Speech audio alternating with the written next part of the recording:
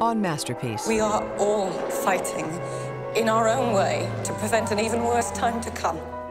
He's not a kid anymore. He's not a bloody soldier either. This is a dangerous time to become the subject of gossip.